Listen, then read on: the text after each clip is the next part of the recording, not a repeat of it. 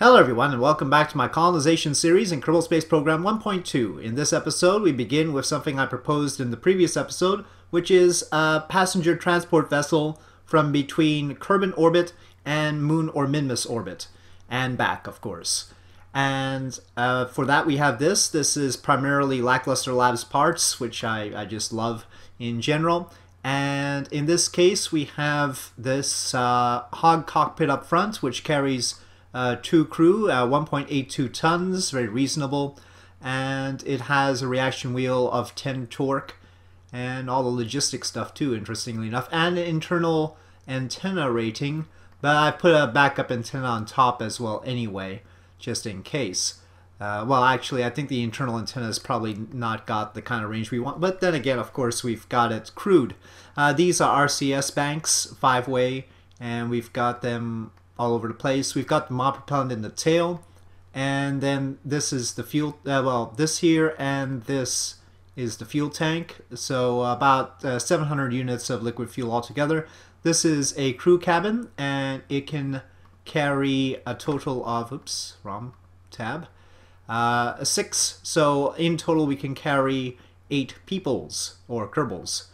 And we can change the styling if we like we can uh, pick various sorts of looks. Uh, though in some cases that would bury the solar panels so that's not a good thing. Let's make sure we just stick to that for now. Alright the engines that we're going to use are these which you saw on the previous lackluster lab thing that I made. And that one was direct to the lunar surface but that isn't quite efficient Anyway, it's got uh, two 80 kilonewton ones of these, uh, 320 vacuum ISP is all. As soon as we can, we should replace them with nuclear engines, but we don't have those yet. So that's why I haven't put those on. Obviously, those would be a natural choice, and at that point, we can uh, change our tank setup to just liquid fuel here. So that's very convenient. I couldn't uh, really scale up this because the cockpit doesn't scale, so that's the problem there.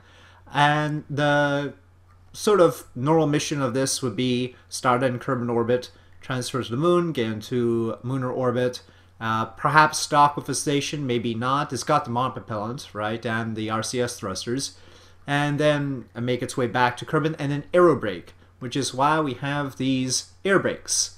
And I haven't, I don't remember trying these before, but it's got four of them all together and that's because it's going to try an air brake. I don't know if they're any better than the normal stock ones, these air brakes, but they look cool, so I went with them.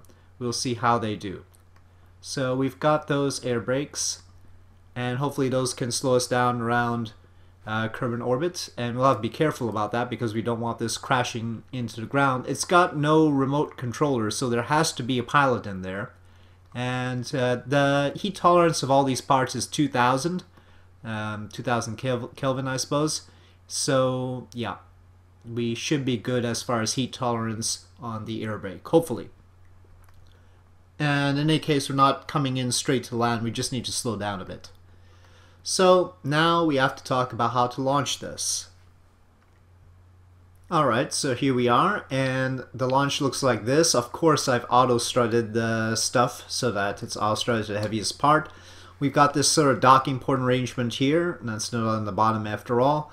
And then we have a controller for this because we're going to be bringing this stage back down all the way from orbit. It's just got a single mainsail at the bottom. And, oh dear. Um, I forgot we have issues with the procedural SRBs. You can see the cone has ended up there. Hmm, that doesn't seem like a good thing, huh? Let's just use some stock SRBs. The reason I had sized these and have four of them like this is because this was the um, largest I could make it so that I could recover these with 6 meters per second and 100% recovery rate. But, well, if they're going to mess around like this, I'll just replace them with stock ones.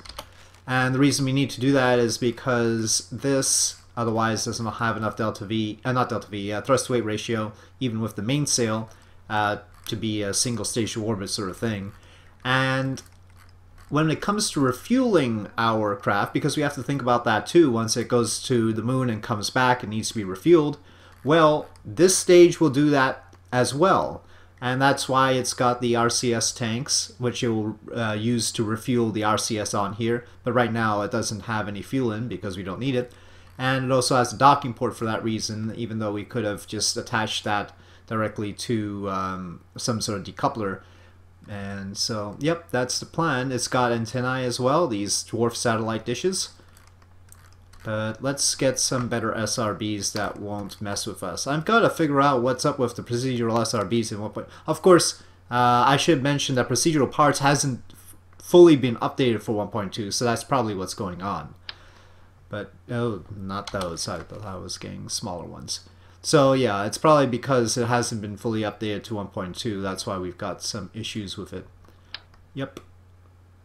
Okay, these look uh, about the right size about the same size as the procedural ones, so in theory that should be alright. Let's see. Uh, 6.9. I don't want to put additional parachutes, that's why I wanted to size them like that. So it's a little bit sad. Also, I, I need them to last longer. I don't need them to have so much up front. So let's thrust limit a bit. And they don't have as much thrust as the procedural SRBs too. The procedural SRBs somehow were more efficient. Actually, I think they are more efficient. Uh, I think in terms of ISP, the procedural SRBs are better. Uh, this has 210 tops, and if we take a look at the procedural SRBs, um, well, right now the procedural SRB is just messed up. um, uh, that that ISP does not make any good sense at all. So we'll leave that be for now. Alright, we'll go with this, even though it's not quite as energetic as I wanted it to be. And we should have enough fuel to come back down, but we'll have to take a look at that. I think we're only going to send one Kerbal up with this on this test, but we do need to send a Kerbal, otherwise that portion... Well, I could have added a remote controller, but that would have been extra mass, and we do want it to be Kerbaled. So, yeah, not Valentina Bob. We'll have somebody new do it. Sigmore. Sigmore Kerman will be our test pilot for this mission. After this, we need to uh, get on with the Scanrite, 23 days there. Now, Sigmore is going to be able to stay in here for 46, well, more than 46 days. There's only one crew. It's reading two crew there. I hope he'll be alright. Habitation 30 days. I don't know if that goes up if there's only one person. It's not really showing me. Um, maybe we should time warp a little bit before launching this. Otherwise, otherwise 23 days and then we'll have to deal with Sigmore right away if we assume 30 days. Alright, here we are, and right now the Scanrite has 8 more days to go. So we still have time on that. We really need to pick up some more contracts, but this is not a mission that's going to fulfill any contracts, so we might as well get it done. Alright, everything looks to be in order. Uh, so here we go. Launch. Whoa, um, everything's not in order. Whoa, initial wobbliness. It's like it got a kick from one of the clamps or something. Let's go up for a little while. Okay, those are off. Please don't crash into each other. It looks like they're alright. Um, you know, the TWR was less than advertised. And I thought the boosters... Did not get my thrust limiting of them. I think it might not have gotten my thrust limiting of them. Anyway, we need to get on with this now. On the bright side, uh, Sigmore's little craft has 2,000 meters per second of delta V. So in a pinch, there's a point where it could make orbit. I just heard something explode. Dang it. I think they're exploding. Ah, uh, it doesn't look like stage recovery recovered the boosters. Maybe I need to put a controller on them or something. Shouldn't need to, but appears to be the situation. Stage recovery definitely did not take care of them. Nice flame from the mainsail engine, and Sigmore seems to be alright with everything.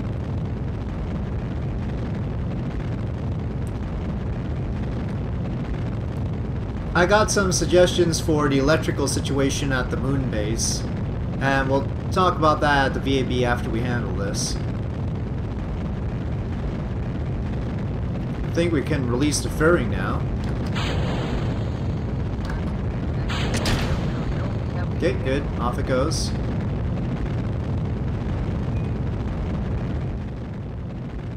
This is a lot tighter on the Delta V than I thought it would be. Let's go to 90 kilometers. Or close to it. Nah, maybe we should push it. Uh, let's go to 100.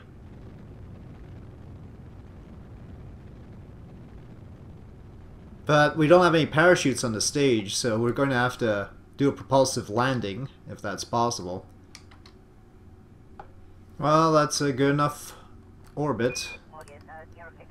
Not exactly the margins I wanted. I don't suppose there's anything locked in here, is there? Nope. Okay, well, and there wasn't any RCS there? Okay. Decouple node. RCS on and forward. Very good. RCS working fine. And it looks like it's operational. Let's see what it says about his habitability right now. Oh, good, good. 107 days of supplies, 19 days of electric charge. Electric charge, it says expired for the base, but I'm sure if I go to it, it'll have electric charge. That um, habitation, 119 days. Actually, uh, Sigmore is practically better off than Jim and Bill, weirdly enough. Well, alright. In orbit, no problems. Let's see if we can bring this stage back down. And even without the payload, we only have 227 meters per second. So we're probably going to crash. This is not going to be a nice safe return here. Well, we're definitely not going to go back up. Uh, 82 by 32.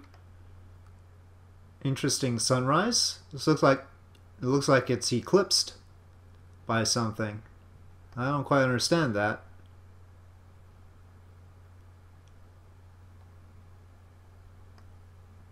Don't tell me the moon happened to be in front of the sun right at sunrise.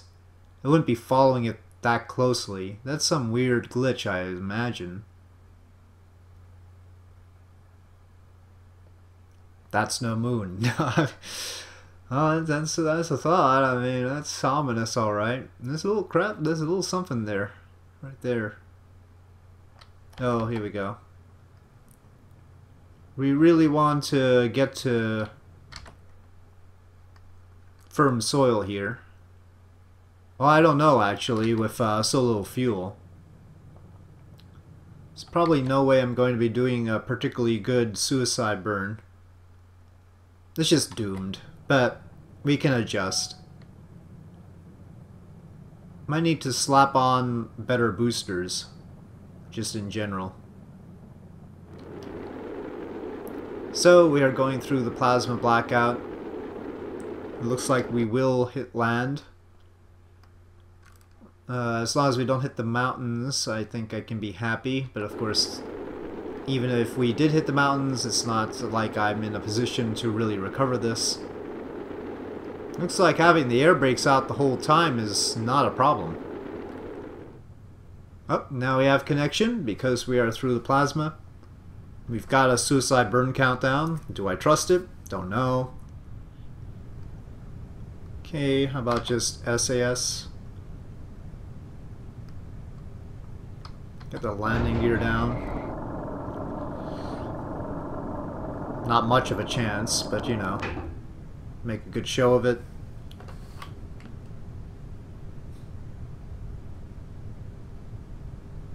I'm taking the suicide burn countdown seriously. I'm assuming that that's like gospel.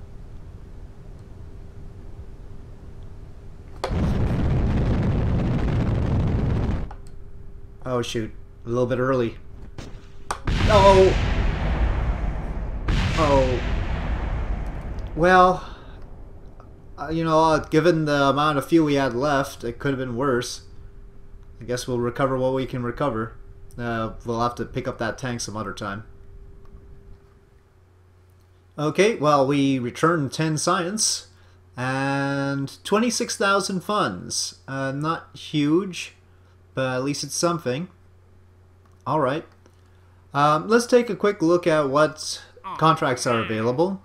Um, gather scientific data from Kerbin, I don't care so much about. Magnetic field environment of the moon doesn't pay very much. Uh, orbital survey of the moon eh, still a little bit unimpressive. Heat shield 10 meters in flight over Kerbin sounds dangerous. At those speeds, well, okay, so that's just coming back down. I don't know. That That's also not very lucrative, though we could use that heat shield for some time. Um, we have to recover this part from orbit of the sun. That, that pays pretty well. Interesting. 0.6 ton part. We need the claw or something, I guess. We could have a satellite in orbit of the sun.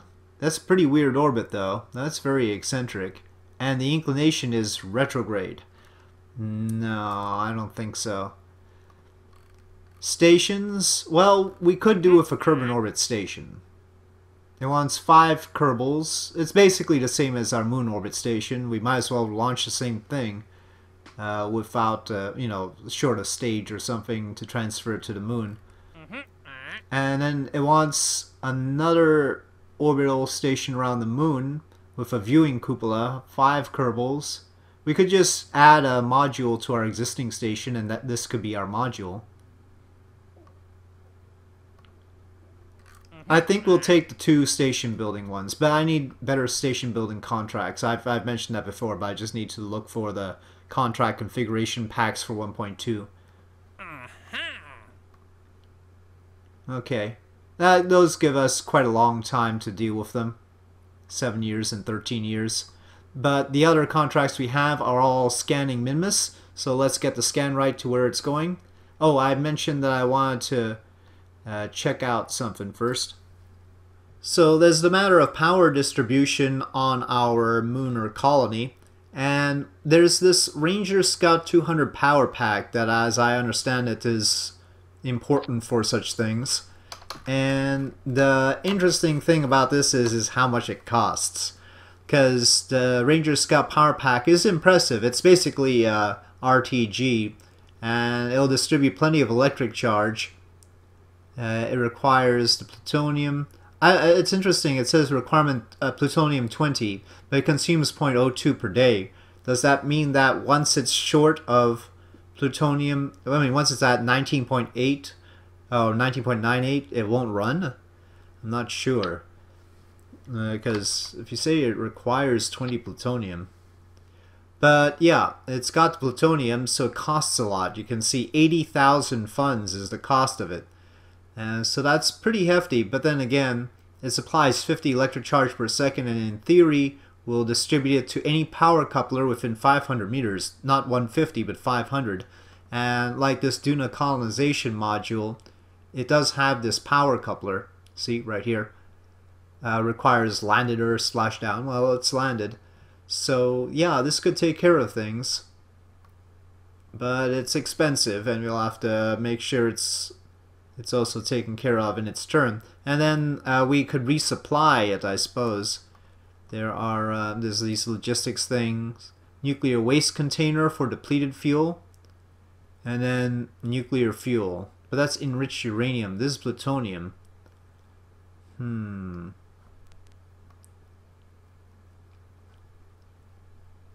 Curious about how I transport. I guess we'll just send a new one of these scout power packs instead of sending plutonium.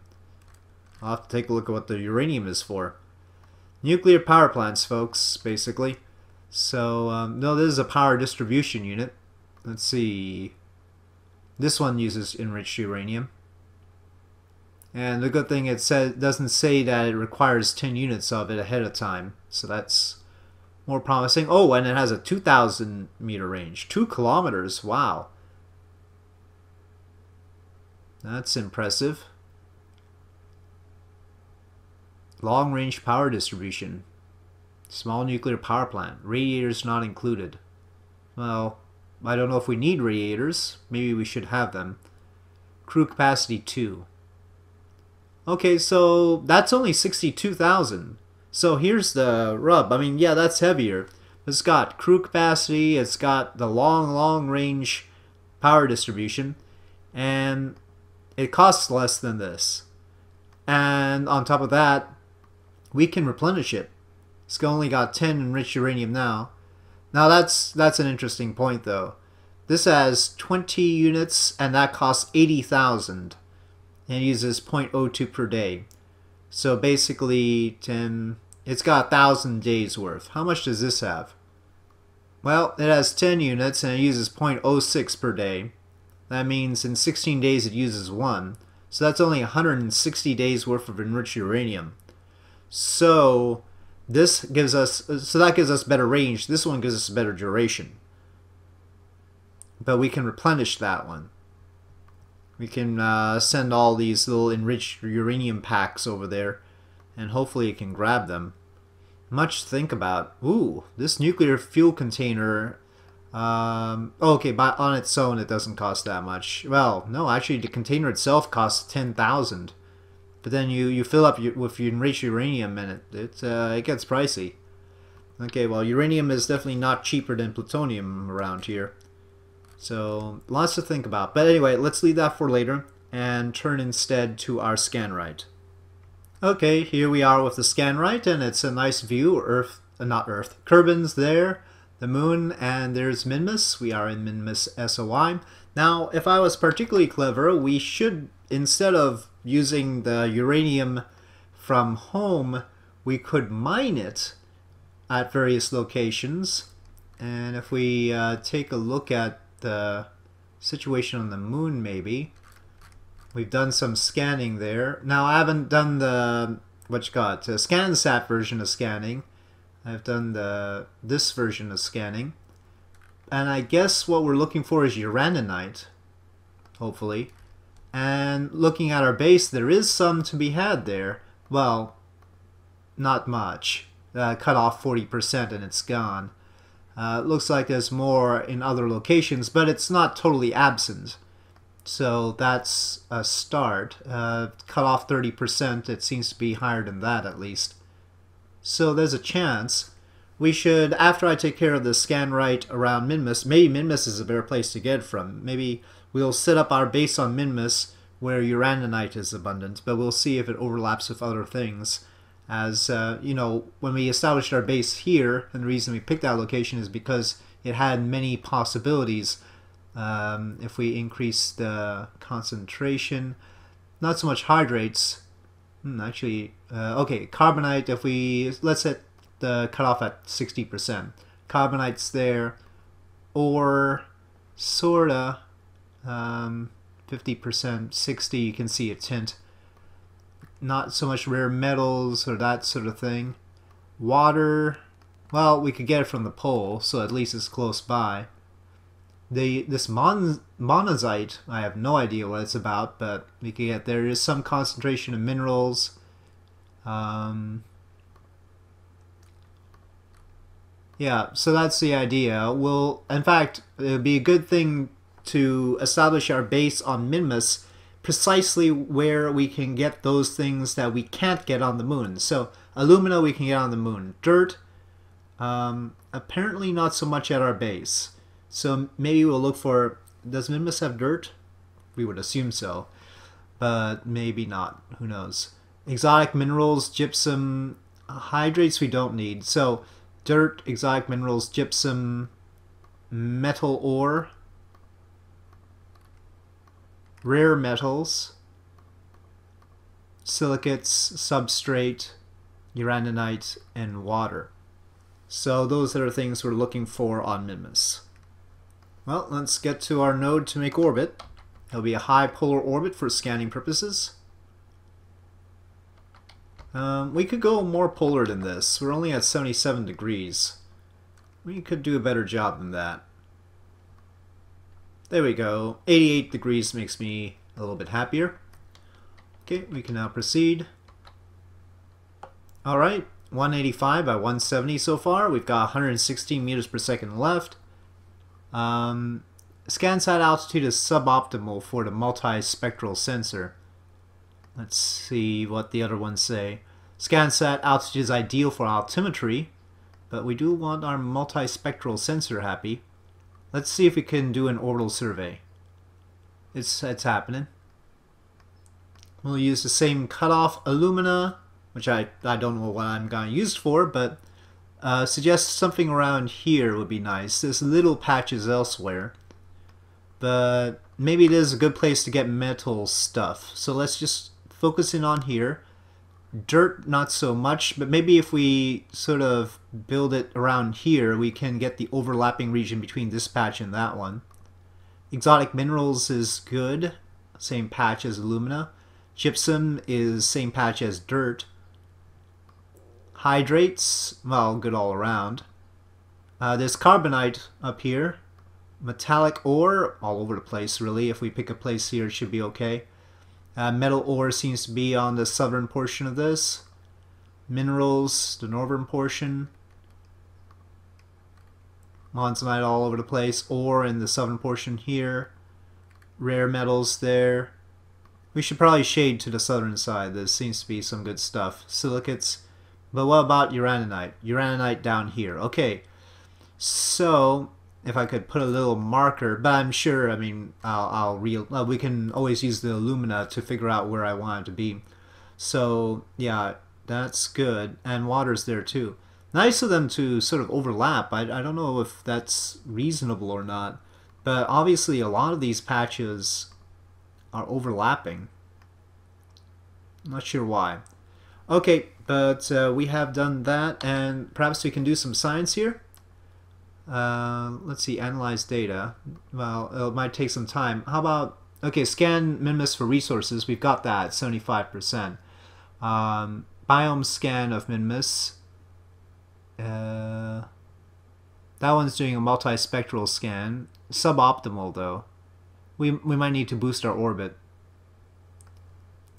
And low resolution altimetry scan. That's that's this one. That one's ideal. Let's see. But we, we haven't gotten any yet, I think. Wish these actually said how much I've already done. There's an anomaly there. I wonder if we just time warp for a little bit of time. Okay, yes. Low resol okay, uh, low resolution altimetry scan is done, but not the biome scan. Okay. Um, let's see. Let's try and boost our orbit a little bit higher, but we don't have a whole lot of fuel, so we better be careful. Let's try 250. Okay, 250 is ideal. So we'll go to apoapsis and boost the periapsis end to that too. I don't know, I think the multispectral sensor is the one that would scan for biomes, but not 100% sure.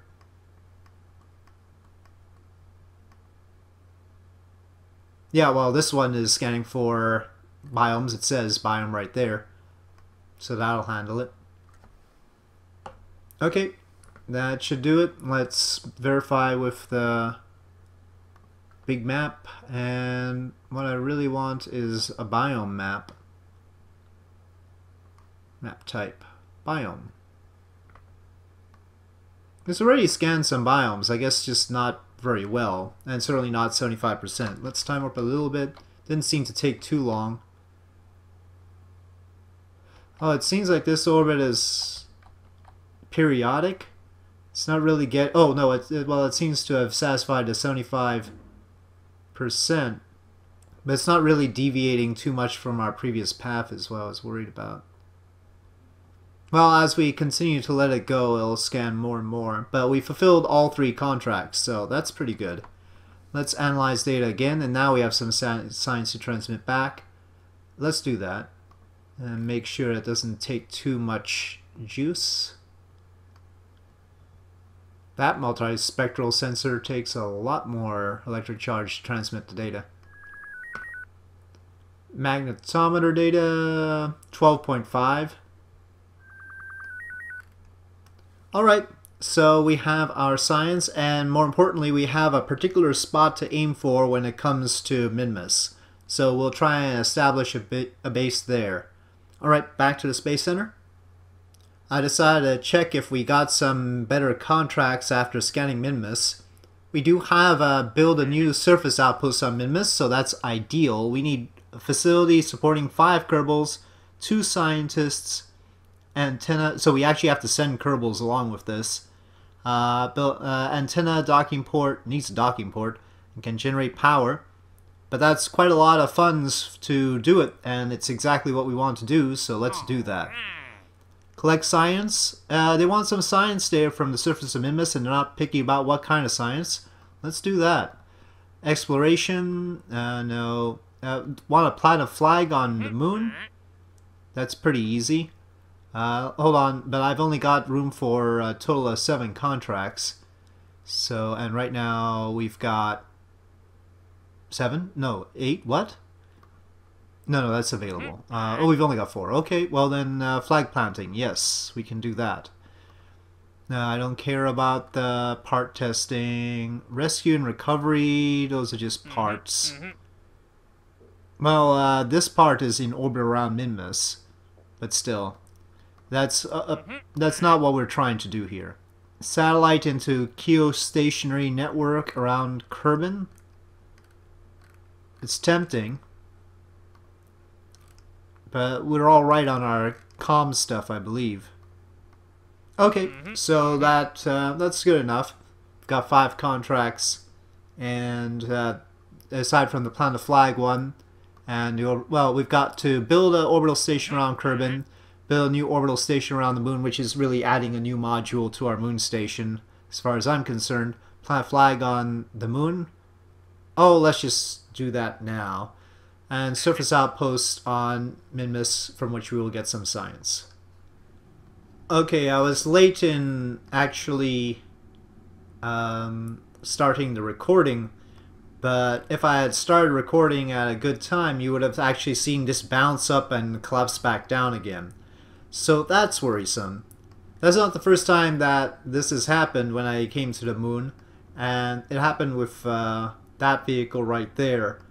But in both cases, they survived fine without anything blowing up, but uh, it does suggest that I don't want to build anything too complicated or bouncy. I hope the bounciness doesn't increase over time. Anyway, we have enough electric charge, so that's positive. And I want to uh, transfer Jeb into this habit and use the crew hatch. So, um, so many little things here. Transfer crew. Transfer to the hab. Okay. Unfortunately, our electric charge generation is not enough to actually run the habs. For instance, start hab quarters, that'll drain the electric charge too quickly. That's why we need the other sources of electric charge. Now, of course, we've got the power unit there, which would work if it had some way of transmitting that power over here. And at the very least, we would need to send some pipe endpoints for that to happen. Okay, so, well, there's a rock there. And there's their other vehicle that brought them here. Let's uh, put the flag near the rock. It's not really a rock, it's not collidable.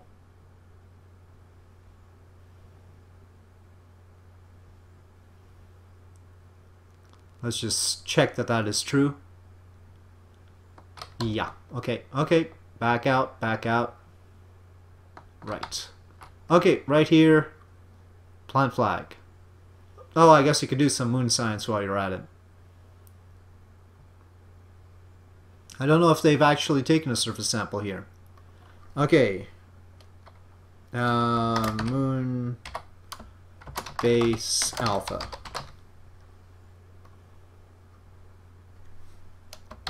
Mission fulfilled. Not really, they've got a lot more to do. But anyway, uh, take surface sample. Uh, keep, obviously. And EV report, keep. Yeah, I haven't done any of that here. Inventory, nope, no little uh, connector ports. So back into the base.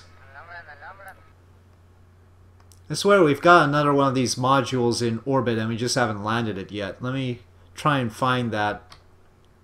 Uh, cannot be stored? No, I, I want to be able to store it. Uh, okay. So why can't they be stored in that? Is there any way to get into our core hab? Do we have to go all the way to our uh, ship? In order to store the experiments? Well, there's a door up there. Hopefully we can transmit stuff from that crew hatch. Okay, up. Forward. Okay, grab. Board. Okay, good. Here we can transmit information. Review data. Transmit data. Oh, no, okay, well, keep experiment. We'll have to transfer it to some other module, which, well, we really need to slap on some COM device to this. But alright. Okay, so yeah, let me uh, look for our other module in orbit, just so uh, we have more to do. Alright, yep, there it is. With the inflatable modules as well. What, what type is this? This is a Kerbitat. That could be helpful. We could we could use a Kerbitat, I think, but probably doesn't have any COM devices either. But it does have some solar panels, but once again, not enough to actually produce enough power for the modules it has. And of course, we will have to send over some more material kits to actually inflate these modules. So lots to do. Let's see in the next episode what I actually remember to do. There's a lot to take care of here. But in any case, it should be fun.